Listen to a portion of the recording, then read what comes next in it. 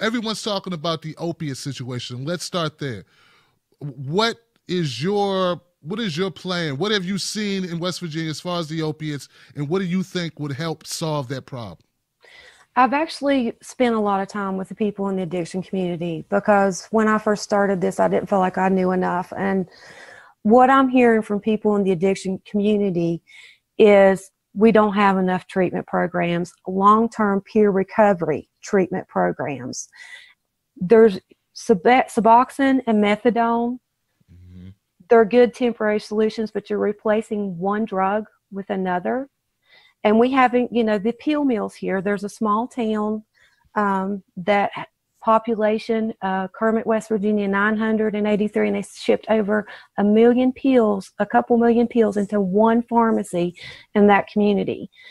And you look at the funders to the incumbents here, they're all in bed with big pharma. And so they've allowed it to happen. And I'm hearing from people in the addiction community that they do not have access to these long term peer recovery programs. And the funding is not going into those programs, they're going into alternate drugs that's going back into big pharma. Gotcha. So, so this money that's been coming in needs to go into true recovery. true recovery. And we need to get rid of the stigma behind the addiction epidemic. I know 80 and 90 year old women that are addicted to opioids because they trusted their medical providers this has affected every walk of life. And we have one of the biggest addiction epidemics in this state right now. And the what in the in the to to fight the war on drugs, we have to fight the war on our people, and we have to get all of this money out of big pharma and give it to the people that deserve it. That they're trying to get their lives back because they've been they have been affected by this crisis.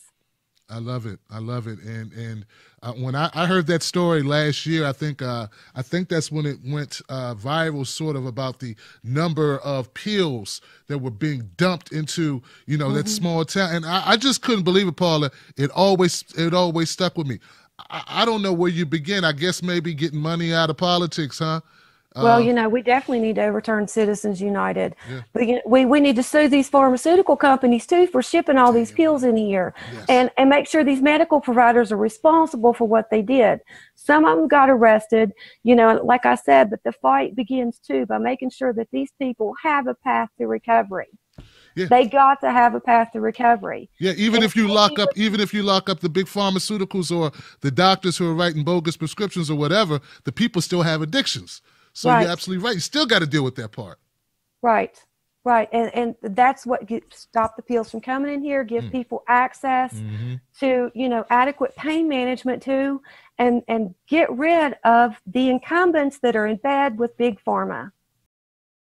Here's what I want you all to do for me.